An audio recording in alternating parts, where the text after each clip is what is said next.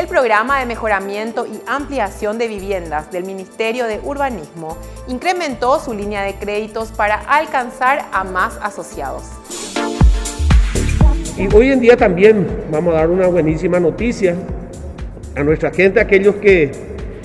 son nuevos en este proyecto que presentaron tal vez eh, los primeros meses del año, que anteriormente el proyecto era de 21 millones, casi 22 millones de guaraníes, y hoy gracias al trabajo entre el Ministerio de Urbanismo y las diferentes cooperativas que estamos dentro de esta alianza estratégica,